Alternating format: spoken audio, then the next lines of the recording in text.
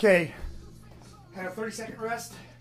Okay, a second set of uh, jerks with the 12s, um, 10, uh, 10 reps a minute, uh, 11 reps the last two minutes. So 42 total reps, four minutes.